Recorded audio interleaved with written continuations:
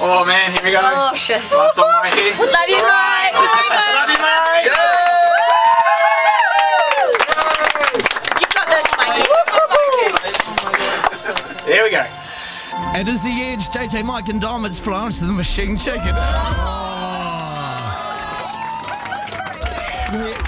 This is going to be um, the, the la- for now at least the, the last break that Mike uh, introduces um, as an Edge announcer. Uh, uh, that was a lot better than your first break 20 years ago, mate.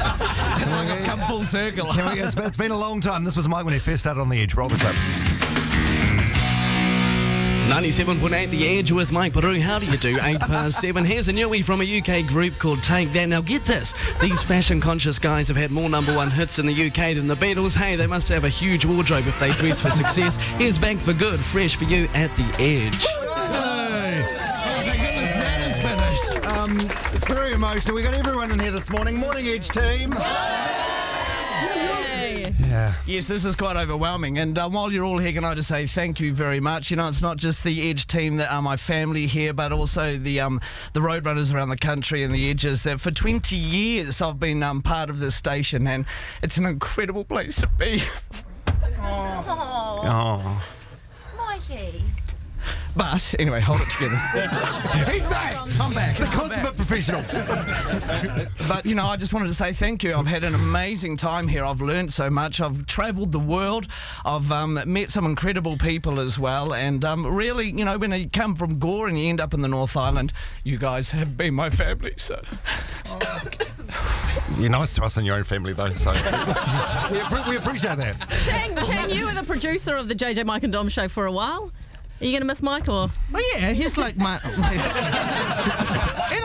Me, me and Mike are like the minorities here at the edge. One American and Asian, so That's right, It's just And like you're, both, and you're both gay, right? I'm not. Uh, it's just like you know, it's like today. Like I said my piece to him on Monday, but it's just like he, I, I, I lost a very good friend today. So He's not dead. He's not bloody dead, mate.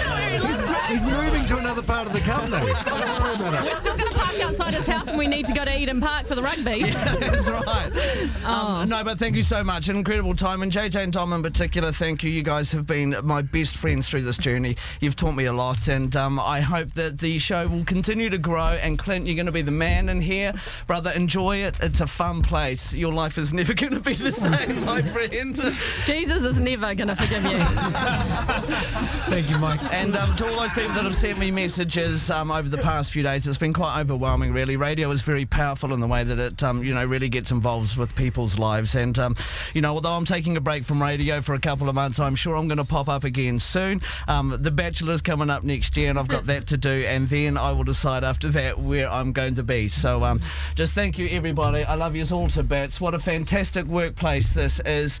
And um, New Zealand, thank you for having me as part of your lives as well over the past 20 years on this particular station. So from me, um, thank you. I'm out of here. Have a fantastic Christmas and a wonderful New Year's. Here's to 21 years on the station, The Edge.